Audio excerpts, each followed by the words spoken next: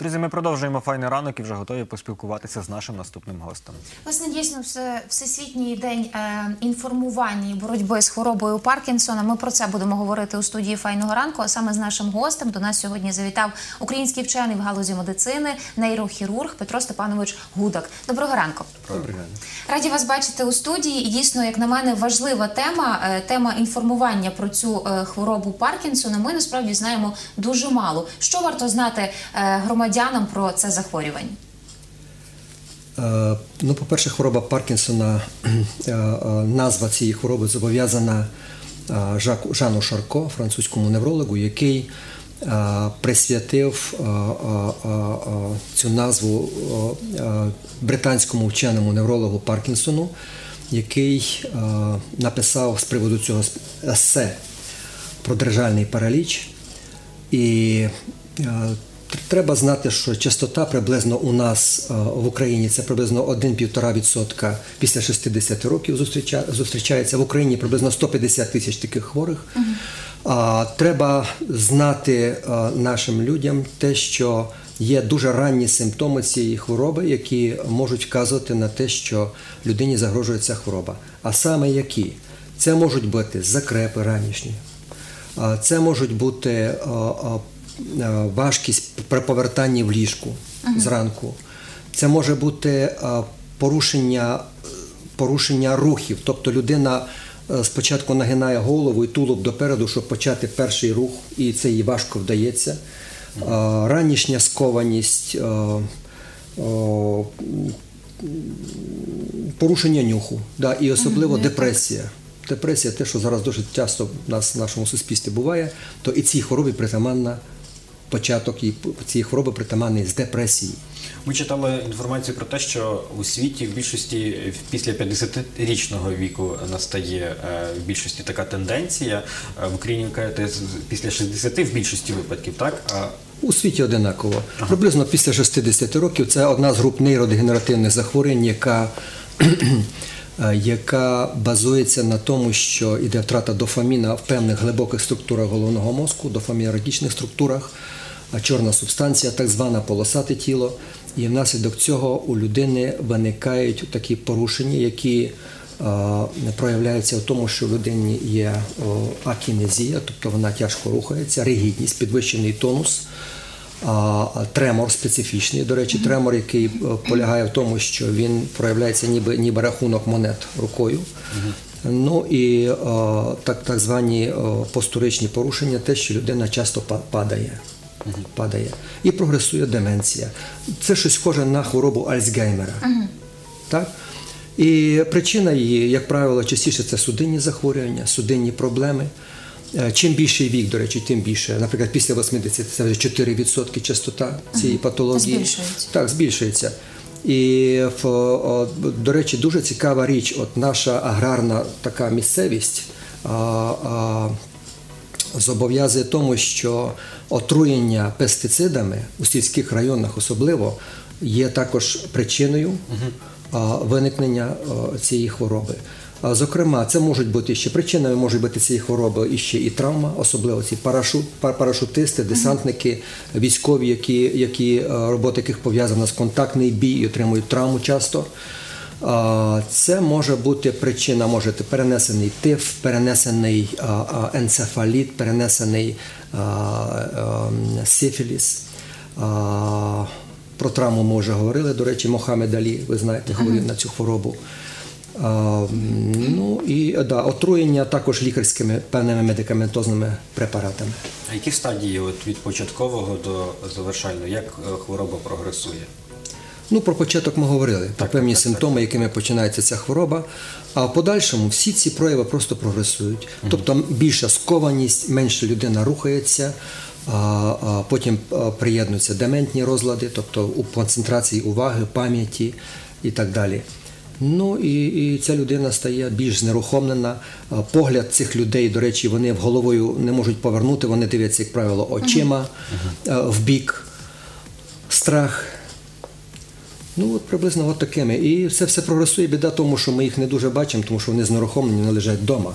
Такі вже пацієнти. Вони мало рухаються, і вони не попадаються нам на очі. Ми їх рідко коли бачимо на, на, у суспільстві, на вулиці і так далі. Зрештою, якщо людина якась е, побачила в себе певні е, симптоми з тих, які ви перечислили, до яких лікарів в першу чергу потрібно бігти, звертатися, аби можливо якимось чином е, призупинити цей процес? А, Перш за все займаються цим неврологи. Це є неврологічна проблема. У нас є чудова психоневрологічна лікарня, де досить професійно високому рівні цим займаються. Я є представник нейрохірургії, тобто вже як крайня форма, крайня стадія лікування, вже в четвертій, п'ятій стадії е, лікування цієї патології тільки приєднуються нейрохірурги. А на початку займаються цим неврологи. Вони призначають певні специфічні препарати, препарати групи Ельдопа, Ельдофа. До речі, був створений художній фільм, досить цікавий. Я колись не можу зараз пригадати, як він називався. Е, Тоді, коли, коли був про- прорив в науці, коли цей препарат тільки придумали і дали цим пацієнтам, які, які, які вже були втратили е, е, всі когнитивні, скажімо, процеси головного мозку. І як тільки дали цей препарат, ці люди заново відродилися, почали гарно спілкуватися, ожили і так далі. Але проходить певний час, і вони знову повертаються до цього стану. На крайній стадії цього захворювання займаються цим нейрохірурги. Є специфічні операції, про котрі, можливо, мало знає, знають деякі навіть спеціалісти. А, і ми також оперуємо цю патологію, тобто нейрохірурги. Е, Скажіть, е, якщо е, фактично мені цікаво, в принципі, як людині, яка не надто досліджує медичну тему, людині суспільства, так можна абсолютно вилікуватися від цієї Ні. хвороби? Тобто її Ні. можна лише Це- гальмувати. Так, якраз ця хвороба і проявляється тим, що вона є поступово прогресуюча. Така як от хвороба Альцгеймера, є ще такі, така подібна кортикобазальна дегенерація. з і так такою, з такою хворобою? Ну, Скільки прямо- можна прожити? Так. Ну, роки. Роки. Роками люди живуть, але поступово це прогресує і. І ну, залежить від, від того, який, який початок, яка імунна система, наскільки людина була підготовлена до цього, фізично розвинута і так далі, як вона дотримується лікування, дотримується певних умов. До речі, тому що є дуже цікаві факти, наприклад, що люди, котрі хворіють на цю хворобу, вони не мають вживати по мі- мінімуму білків, тому що білок сприяє порушенню смоктанню до Тобто є дофа. певна дієта навіть, так? Має бути специфічна рослинна дієта і так далі. Ці люди повинні рухатися. От, наприклад, у Києві навіть неврологи створили такий е, спосіб лікування, як е, е, кінезітерапія, тобто вони рухають танцями, лікують цю хворобу. Так. Ну і, і, і, і вживати багато води треба. От одна з е, от такі, от таке лікування застосується. Якщо людина це це, е, це таке лікування е, застосовує в своєму житті, то безперечно, що вона гальмує прогресування цієї хвороби. От ми сказали про ту вікову групу людей, е, коли вже найбільше прогресує ця хвороба, так після 60. Чи є випадки, коли це ставалося швидше? Так, є у молодих 30-40 річному віці. Є. І о, о, причиною цьому може бути справді і травма, і пухлина, до речі, мозку теж. Перенесені ці інфекційні захворювання так е, спостерігаються і в більш ранньому віці 30-40 років. Тобто і якось е, відслідкувати цей процес, залагодити, ну, наприклад, е, коли от людина бачить якісь перші порушення, то, то фактично можна розуміти, що це вже хвороба прогресуватиме і зупинити її якось на якомусь етапі.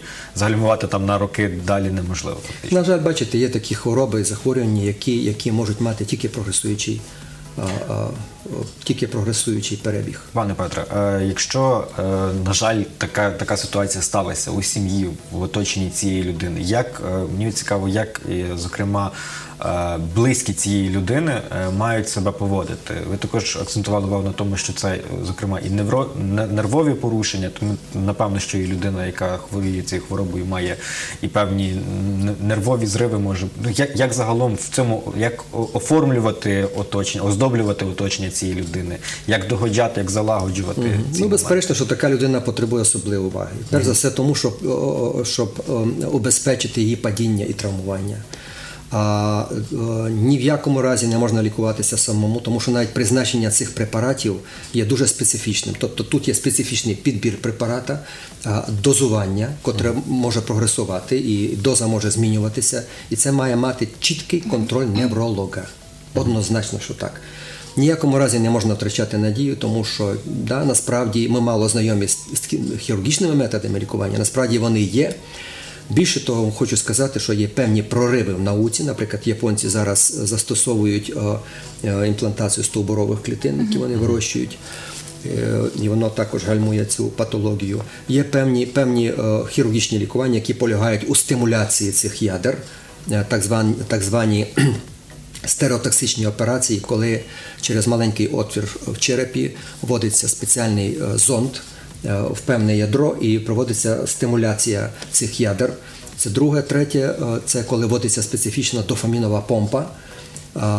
І подається дофамін подається дозовано, і м, така помпа ставиться на роки, і людина може мати хороший ефект лікування. Пане Петре, ми вам хочемо подякувати, що ви сьогодні до нас завітали і трішечки нас, так би мовити, просвітили стосовно цього захворювання. І нашим телеглядачам хочемо нагадати, що якщо у вас виникають будь-які проблеми з здоров'ям, ні в якому разі не займайтеся самолікуванням, а звертайтеся до лікарів.